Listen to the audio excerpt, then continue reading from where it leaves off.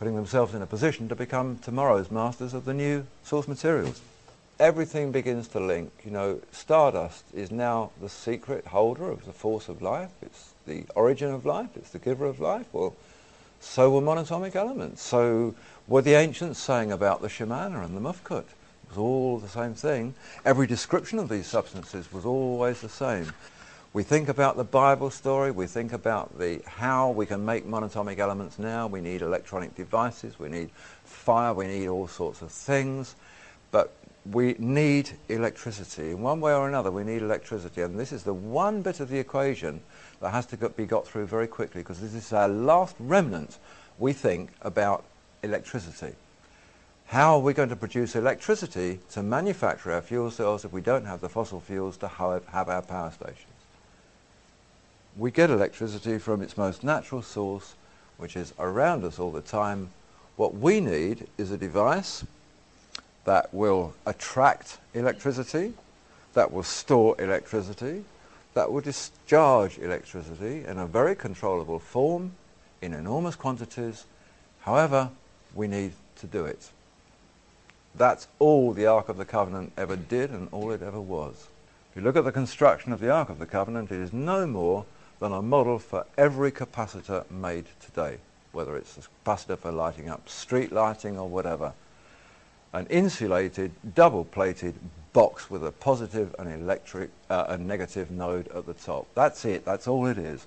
And you look at the description of the Ark of the Covenant in the Bible, which is given twice. You take every measurement, you manufacture it with the materials that it says in accordance with everything it tells you, and you have a 100,000 volt immediate electronic capacitor. You do what the Bible says, and you place an omer of the shem-an-na in it, golden path of the white powder. You place it in there, you've immediately got a superconductor. You've immediately got a device that sets up its own Meissner field, which will levitate, which will be able to travel on its own, which will be able to issue gamma rays or, or whatever you need it to do.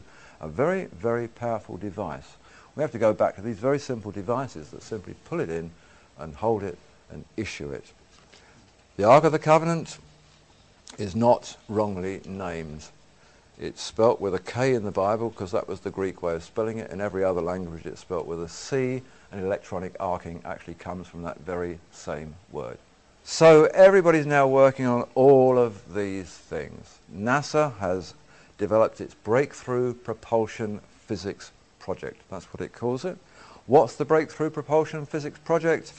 It's how to get the stars by bending and manipulating space-time. That's what they're working on right now. Anti-gravity, that's the other thing. That's not necessarily just about spacecraft, that's about ordinary aircraft.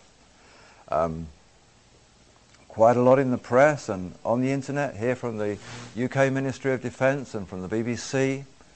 Anti-gravity propulsion is coming out of the closet, says Defence Weekly. Well, to this end, British Aerospace um, over in Britain has embarked on Project Green Glow. Um, over here uh, at the top secret Phantom Works uh, in Seattle, Boeing technicians are working on Project Grasp. They're very, very similar. They're both looking at anti-gravity aircraft. Why do we need aircraft that can fall down? We want aircraft that just stay in their frequencies and go wherever we turn the knob to tell them to go. In fact, they don't need pilots, really. Just send them places. This um, picture here is British Aerospace's latest design um, for a new stealth aircraft why do we just have to have something that radar can't see when we can actually produce things that we can't see? In fact, we can produce things that aren't even invisible. They're not in our time dimension. They've moved from our visible plane. Wouldn't it be wonderful if there was a stealth aircraft that simply left here and couldn't be seen by anybody because it wasn't there, because it was travelling in a different dimension and simply came back where we wanted it to be? Now, by the same token, on that basis, why couldn't ordinary aircraft, our passenger liners travel in that same way? It doesn't have to be a bomber. It doesn't have to be that. You know, why can't we all be traveling in different parallel dimensions and getting to places in five seconds instead of it taking 11 hours every time I come over here? We are finding the place where the stardust, the monatomic elements, meet the stargate and will take us into the world of other dimensions so that suddenly as Puthoff says, we can't apply the laws of physics anymore.